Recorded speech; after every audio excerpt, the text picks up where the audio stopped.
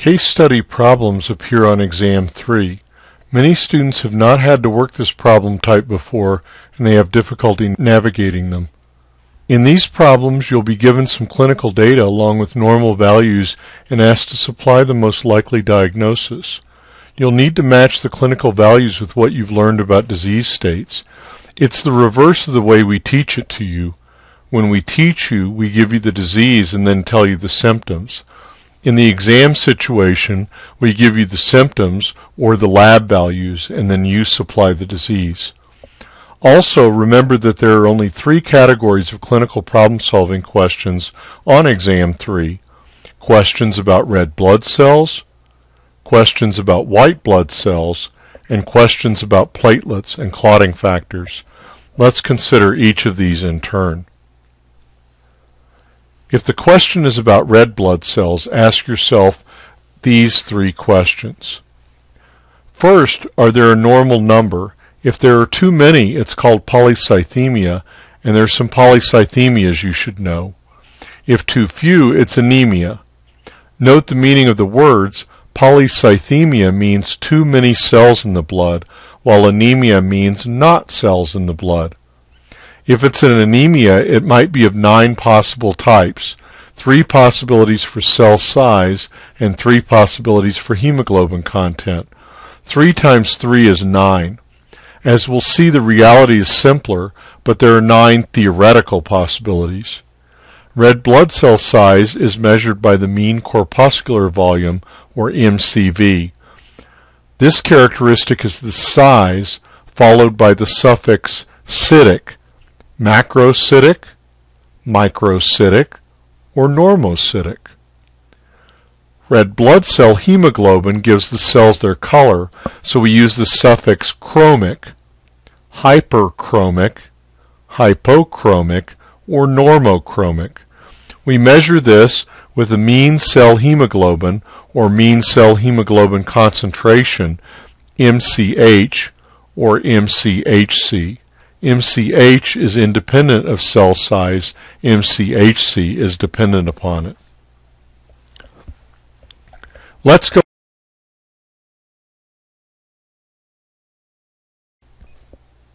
Let's go back to polycythemia, too many red blood cells. There are two types. Relative polycythemia occurs when the volume of plasma decreases, leaving the red blood cells packed more tightly than normal in the blood. This can happen in dehydration, for example. Absolute polycythemia is when the volume of the blood is normal, but the number of cells is too high. This can be primary, in which case we call it by the Latin word for true, polycythemia vera, or it can be because of an adaptation to chronic anoxia, in which case we'll call it secondary. Now for the anemias. Remember that we have three possible size ranges and three possible ranges of hemoglobin content.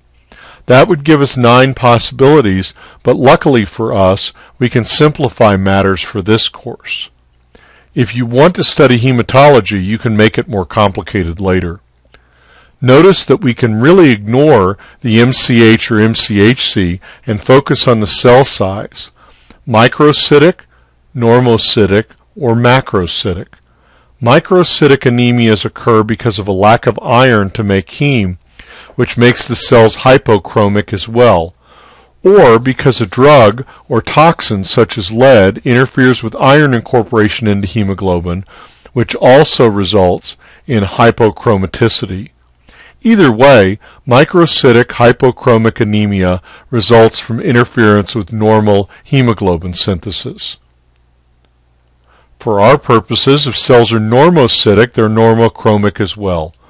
Normocytic normochromic anemias result from destroying red blood cells before their sell-by date, or from leaking red blood cells, or from conditions which stop or slow bone marrow production of red blood cells, such as anemia of chronic disease, ACD, or aplastic anemia.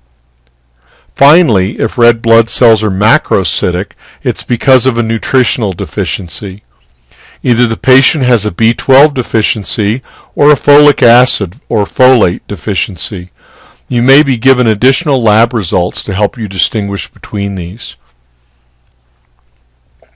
Now let's turn to lab values which indicate problems with white blood cells. Remember that we studied the complete blood count, or CBC, which is a scattergram of cell characteristics. Also, recall that different cell types end up in different places on the scattergram, and the computer analyzes these for you. The computer will also tell you whether the values deviate from normal.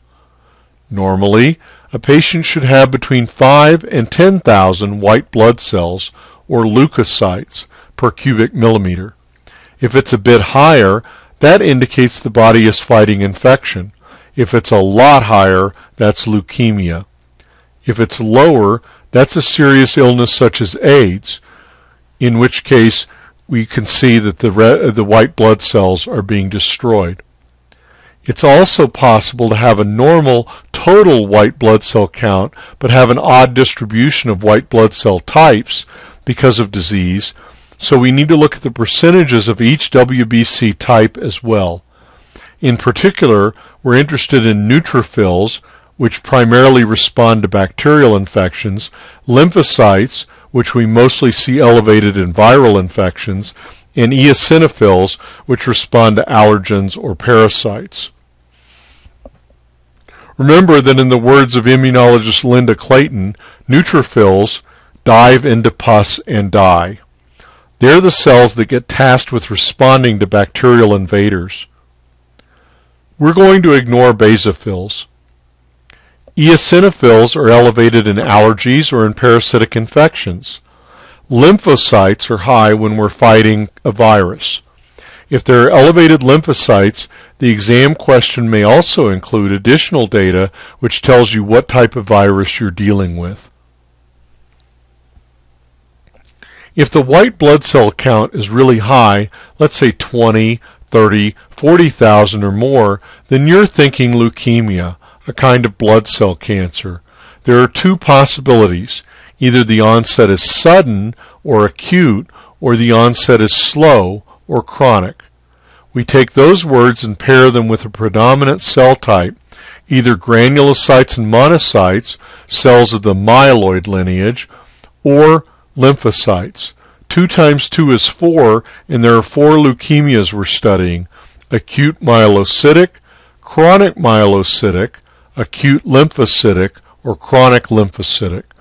CML or chronic myelocytic leukemia is most common in middle-aged and older people, while ALL, acute lymphocytic leukemia, is the most common type in children. Now here's something confusing. There's a disease called multiple myeloma that has nothing to do with the myeloid cell line despite its name. It's a disease of too many lymphocytes. Multiple myeloma reminds me of the Muppets. Lots of M words there. It's brought to you by the letter B. Myelo means bone marrow, which starts with B. It's an overproduction of B lymphocytes, and those abnormal B lymphocytes make Bence Jones protein, an aberrant type of antibody whose eponym starts with B. Whew. Let's finally look at clotting disorders. Clotting is the job of platelets. Just like the other cells we're considering, we can have too many, too few, or the right number of platelets. Too many is thrombocytosis, too few is thrombocytopenia. It's your responsibility to study and remember the clotting pathways before you sit down to take the exam. We don't spend much time on them in class, but we still ask questions about them.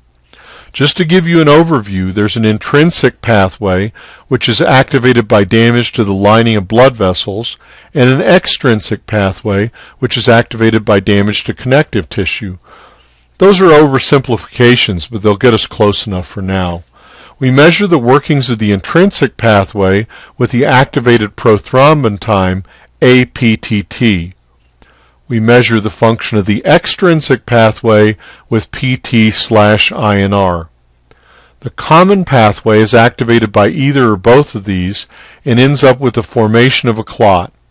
We can stimulate the common pathway directly with snake venom. Also review the material on diffuse intravascular coagulation, or DIC, which is both bleeding and clotting at the same time. I hope this presentation will, get, will help you see how to approach the clinical problems that you're given on the exam. Remember that you're looking for abnormalities in red blood cells, or in white blood cells, or in platelets and clotting factors. Once you do that, it'll get you started down the right path and direct your clinical suspicion towards the right disease.